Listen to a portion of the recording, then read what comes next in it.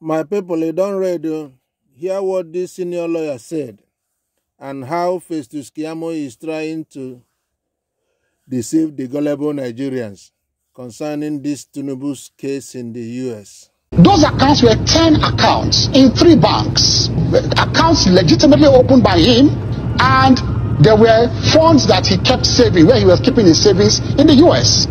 That's a lie because his salary was $2,400 and at one point he deposited $661,000. At another time he deposited $1.2 million. That's $1.8 million. How do you save $1.8 million when your salary on a monthly basis is $2,400, which is actually just $38,000 plus per year? And he stated it himself that he didn't have any other source of income. So where is the savings?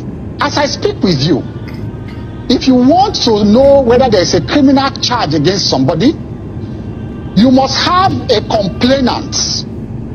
So you will see the state versus so so and so person. You must see that. And then you must have a charge number. You must have a charge number if there's a charge against anybody. There is no charge number in those documents. There were two charges. That's another lie. 18 USC 1956 and 18 USC 1957, which borders on money laundering and financial fraud. And then there was a charge number. The charge number is staring you in the face 93C4488. That's another lie from Festus Keyamo. If you look at those documents too, Asiwaju Bola Tinubu was not mentioned as a defendant. People have skipped. People have made. Uh, they skipped that. It was only account numbers that were mentioned, and at the end of the day, they just said account numbers in the name of uh, Tinubu. That is all. Not that Tinubu was a defendant. It was account in his name, not not him. Those accounts were sealed, not him. It was attorney realm. That's another lie. The prayers of the United States Attorney was that due notice be given to all interested parties to appear and show cause why forfeiture should not be decreed. Who will come and appear? Is it the account number? So that's another lie. There is no charge. There was no charge. There was no indictment. There was no criminal process. It was a civil, purely civil process against those accounts. There indeed were two charges 18 USC 1956 and 18 USC 1957, which bordered on money laundering and engaging in money transactions in property derived from fraud. Now, there was an affidavit by somebody called Kevin Moss. Kevin Moss is just a normal prosecutor you see. That's another lie. Kevin Moss is not just another prosecutor you see. Kevin Moss is a senior special agent. And aside that, the work he did will boggle your mind. These four sections from the document outline that he filed 18,300 files. So that's no joke. What they did in the case of Asiwaju Bola Ahmed Tinubu was therefore to file what they call an interim process for forfeiture. It was not a final process. That's another lie. There were five documents, and the last of them is the final forfeiture, the final decree. You can see it there. So there was a final decree starting from the verified proof of forfeiture to the warrant of seizure, down to the settlement, down to the final forfeiture. So that's another lie. The Kevin Moss, all those depositions you see there about narcotics and all that, it was not a judgment of the court. It was an opinion of a prosecutor trying to convince the court to issue a forfeiture order. It was not an opinion of a court. Another lie. These are seizure warrants that were issued to first of all freeze the account, and then there was a final forfeiture that was issued, which is also an order of court. So to say it is speculative and it is not final, that's another lie. And so it was a presumption. These processes are processes made of mere presumption. So they found monies in his account. They said, well, they needed to come forward. And in that affidavit of Kevin Moss, Again, another lie.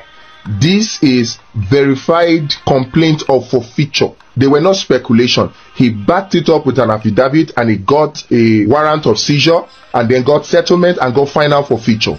So it is not mere speculation. This is another lie from Festus Keyamo. They said they interviewed Mobil. Mobil said, yes, this man is a treasurer in the Mobil. But they said, no, those funds are not from them. But they, they, they confirmed his status not as a criminal, but as a respectable employee of Mobil. It is in the affidavit of Kevin Moss. This is a potential lie because the Mobil is talking about is Mobil Oil Nigeria Limited.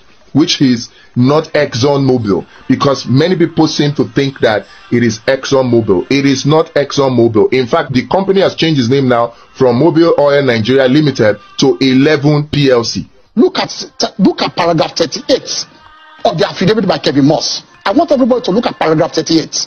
After the rigmarole of trying to find out whether the the, account, the money, where the monies came from, whether they were, you know, linked to drug and all of that, it was all speculative. They came to the conclusion that the proceeds he got from his, the, the tax, uh, the, the deposit he made there, he made there what they call, uh, what this bankers normally call investments. He kept the money there and he was getting profit and the interest. They said he did not pay, he had not paid tax on those interests.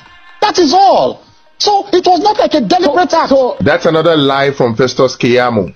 The whole charges that were brought against Bola Ahmed Tinubu were USC code 1956 and 1957 and they bonded on money laundering. To say that it was tax is a deliberate lie. A very, very big lie. In fact, the forfeiture order did not include that it was for tax. This is the forfeiture order. The final order. It stated that it is for narcotics trafficking and money laundering. Those were the two charges. So this is another lie from Festus Keyamo. yes. You liken the settlement that Bola Tinubu had with the, with the court in the United States at the time over these monies as a sort of a plea bargain? No. A plea bargain, you cannot build something on nothing and expect it to stand. A plea bargain must arise out of a criminal charge. Like I said, there is no charge, no con- nothing anywhere, nothing, nothing like a charge anywhere. That's another lie from Festus Keyamo for Bola Ahmed Tinubu. There were two charges, USC code 1956 and 1957, which bordered on money laundering and using proceeds illegally gotten. Going from that, you see now that there was a plea bargain. This is stipulation of compromise settlement, which is plea bargain. So there was a plea bargain, and in the plea bargain, initially it was supposed to be 1.8 million that was seized, but eventually they just fined him based on the charges that he was charged because he was charged with two codes violation USC code 1956 and USC code 1957. And if you look at the punishment for those violations, it says not more than 500,000 US dollars. That was why only 460,000 US dollars was deducted from the account because that's what the law spe- speculates as fine punishment for the violation of the law. The other option would have been imprisonment, which I'm sure that Tinubu would not have wanted. So there was a charge, there was a plea bargain, and there was a fine, which is actually the forfeiture of the 460,000 US dollar based on the law. You established that there was a forfeiture. But if there was Procedure. a forfeiture Yes. uh, that was made and uh, that kind of forfeiture is still subsisting and it has a criminal nature that has not been set aside up to date. No, no, no, no. A forfeiture, uh, you see, that's why I said you take a paper and a biro. It's a, this is a lecture class for you. A forfeiture is not something hanging on your neck. It's a permanent settlement, and everybody, you will shake your hands and go your way. The forfeiture in this case, which proves that this is another lie from Festus Keyamo for Bola Ahmed Tinubu, the forfeiture in this case is based on code violations for 1956 and 1957. The punishment for it is either fine of not more than 500,000 US dollars or imprisonment. And so Bola Ahmed Tinubu was given a fine, which is the forfeiture settlement that we, he got, and it was $460,000. There was a forfeiture, which is actually a fine based on the two charges that were brought against him. I refer you again, paragraph 6, page 2 of the settlement signed. In that paragraph 6, it- they were even begging Ashiwaju. They said that, look, please don't proceed against us again. This is a final settlement between us. Go your way, we go our way. That's another lie from him, from Festus Keyamo. Festus Keyamo, as a senior advocate of Nigeria, knows that there is always indemnity clause in such plea bargains to